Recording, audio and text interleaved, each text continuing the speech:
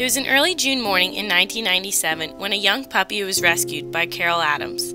His name was Mosby. It soon became apparent that Mosby's goal was to love and to be loved. He could warm anyone's heart and was shameless in his love for one and all. As Mosby grew, so did his need to spread that love. Within only eight weeks of training, Mosby became a certified pet therapy dog. He would visit the local nursing homes, bringing delight and hope to those who desperately needed it. On August 8, 2003, a tragedy occurred that would affect people all over the country. Mosby was senselessly shot and killed by a man who must have never experienced a dog's love. Soon, support from all over the United States came flooding in. Mosby's sacrifice became the catalyst for the development of the Mosby Foundation. Because of him, hundreds of dogs have been saved. Mosby's big heart and devotion to love lives on in the Mosby Foundation.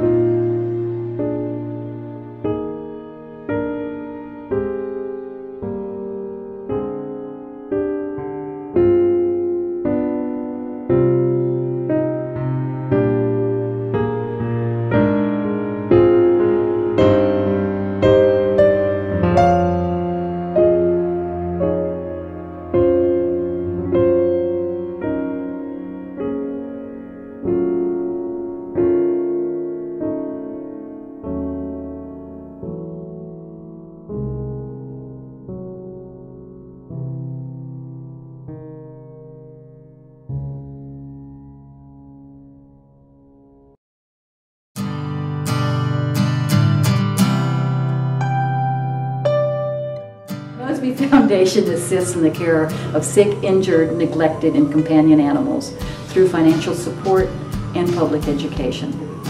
And in that regard, we don't, we're not looking to just help pay a vet bill, we're looking to help save a life.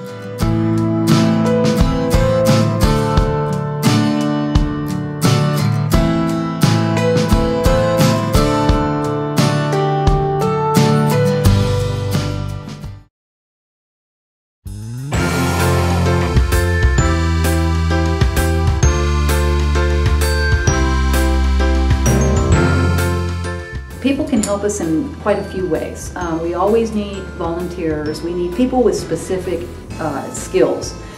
Grant writing, uh, fundraising, um, with organizational skills to, to help us with those, those events and things.